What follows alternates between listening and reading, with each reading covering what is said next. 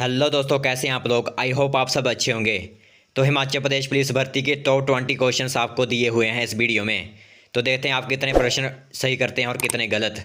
Comment में ज़रूर बताएँ अपने प्रश्नों के उत्तर। तो बिना वक्त ज़ाया किए हुए चलिए वीडियो शुरू करते हैं। इसी के साथ चैनल को सब्सक्राइब वीडियो को लाइक शेयर ज़रूर करें।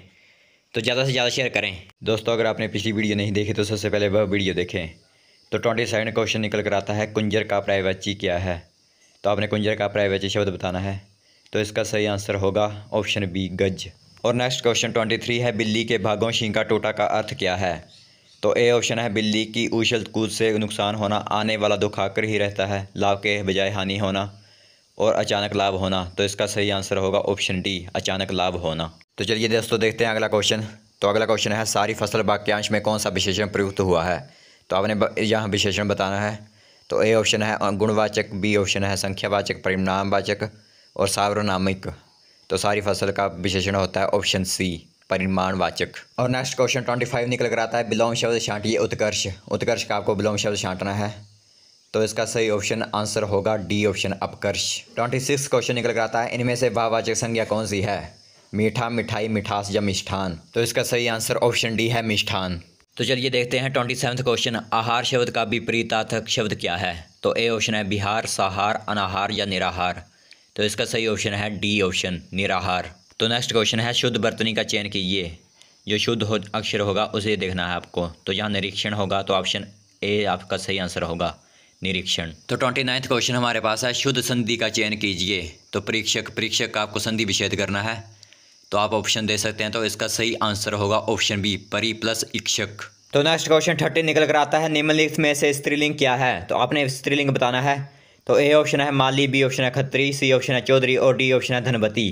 तो इसका सही ऑप्शन डी ऑप्शन होगा धनवती। तो चलिए नेक्स्ट क्वेश्चन देखते हैं दोस्तों और थर्टी फ़र्स्ट क्वेश्चन निकल कर आता है, वह का बहुवचन क्या है? तो ए ऑप्शन है वो, बी ऑप्शन है वे सब, सी ऑप्शन है वे और डी ऑप्शन है उन। तो इसका सही ऑप्शन, सी ऑप्शन, इसका सही आंसर होगा वे। तो थर्टी सेकेंड क्वेश्चन निकल कर आता है, निम्नलिखित में से कौन सा शब्द बिजली का प्रायवाची नहीं है? तो अपने बिजली शब्द का प्रायवाची जो नहीं है, उसे बताना है। तो ए ऑप्शन है चपला बी ऑप्शन है चंचला, सी ऑप्शन है तड़ित और डी ऑप्शन है ज्योत्सना।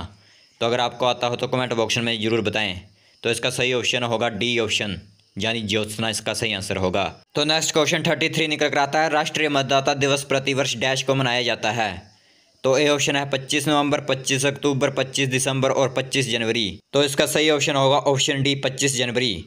तो नेक्स्ट क्वेश्चन थर्टी फोर्थ निकल कर आता है। चंद्रताल झील से किस ज़िले में स्थित है? तो आपने बताना चंद्रजाल झील किस ज़िले में स्थित है? ऑप्शन आपको दिए हुए हैं किन्नौर लाहौल एवं स्पीति, कुल्लू और मंडी। तो इसका सही राइट आंसर होगा ऑप्शन बी लाहौल एवं स्पीति। तो दोस्तों थर्टी फिफ्थ क्वेश्चन निकल कर आता है। कांगड़ा बधु एक चित्रकला है।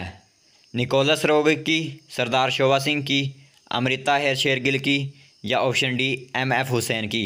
तो इसका सही राइट आंसर होगा ऑप्शन बी सरदार शोभा सिंह की। तो चलिए दोस्तों, देखते हैं छत्तीसवां क्वेश्चन धर्मगुरु दलाई लामा को इनमें से कौन सा पुरस्कार मिला है?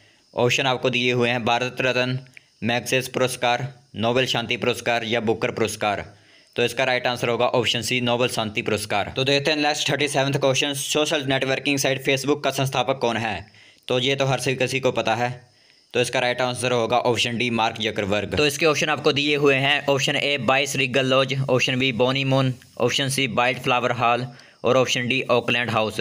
तो इसका राइट आंसर होगा option A Vice Regal Lodge तो नेक्स्ट देखते हैं थर्टी नाइन्थ क्वेश्चन खिलाड़ी जी मिल्खा सिंह किस खेल से जुड़े हैं? तो आपको ऑप्शन दिए हुए हैं एथलेटिक्स गोल्फ हॉकी या फुटबॉल तो इसका राइट आंसर होगा ऑप्शन बी गोल्फ तो दोस्तों लास्ट टू क्वेश्चन देख लेते हैं। तो फोर्टी क्वेश्चन है कोल डैम परियोजना किस संगठन से संबंधित है? तो ऑप्शन दिए हुए हैं N H P C N T P C J P hydro और एच सी सी तो इसका राइट आंसर होगा option B N T P C तो नेक्स्ट क्वेश्चन फोर्टी वन निकल कर आता है। निम्नलिखित में से कौन सा संयुक्त राष्ट्र सुरक्षा परिषद का स्थायी सदस्य नहीं है? भारत, चीन, रूस और फ्रांस। तो इसका राइट आंसर होगा ऑप्शन ए भारत।